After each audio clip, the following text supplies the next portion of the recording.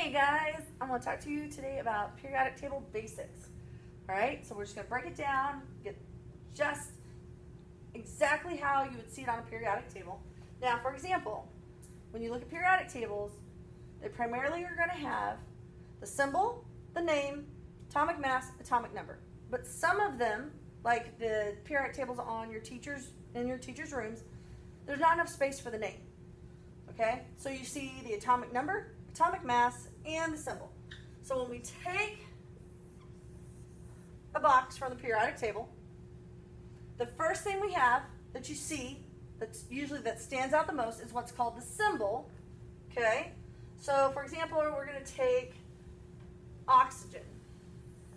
All right, this is called a symbol. So when your teachers refer to the symbol, that's what they're talking about.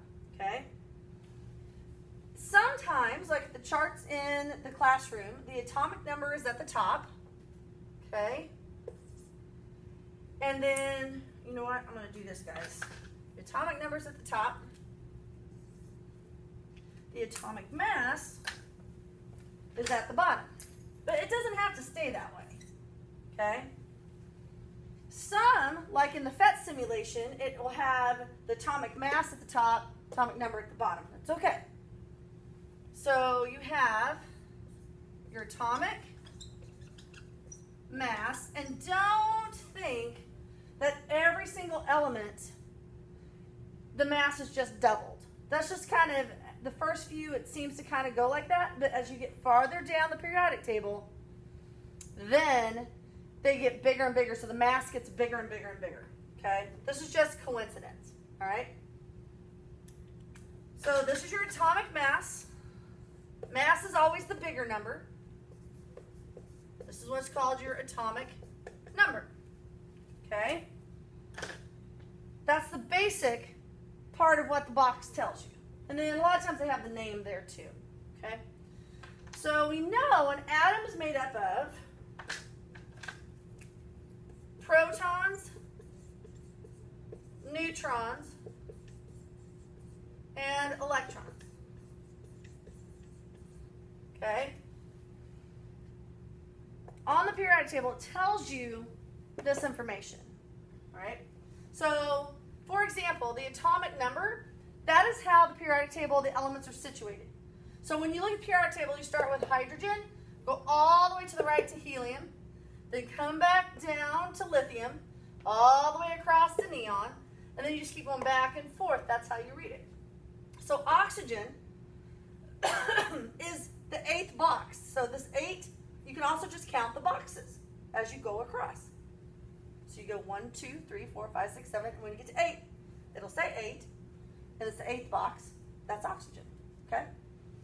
Protons, remember, oh, that's right, we got to know, do you know the parts of an atom and what they look like? So the center part, everybody remember? It's called a nucleus. Inside the nucleus are protons and neutrons. Outside the nucleus, I'd like to write them with an E and a negative. I don't know, I'm old school, that's how we learned to write it. Because that tells you the charge of an electron. All of this business, all of this, this whole entire thing, that is an atom. Not just the nucleus, the whole thing with the electrons as well. To get to the the nucleus, all you have to do is count protons and neutrons. So like in the PhET simulation, they're bubbles. You count the orange bubbles and you count the gray bubbles. Just the number, and that's what is your atomic mass. Atomic mass is when you count your protons plus your neutrons. Okay? Atomic number, remember, that's how the periodic table is set up across. Atomic number tells you the number of protons. So oxygen has eight protons. It has an atomic mass, so it has 16 protons and neutrons together. Okay? Now, the last thing I want to tell you to help you with your PhET simulation, just to start off the periodic table, is, I don't know if I have enough room, it's a neutral atom. And this is when you have the same number protons and electrons. Oh, don't forget charge. Protons are positive, electrons are negative, neutrons have no charge. So they're not going to affect it. Now, mm, let me get my number two. An ion, okay, the atom either more protons than electrons or more electrons than protons. So if it has more electrons, it's a negative ion. If it has more protons, it's a positive ion. Protons are positive. If you have more positives than negatives, that's why it's positive.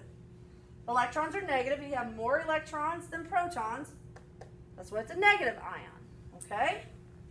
All right. Hope that helps you out.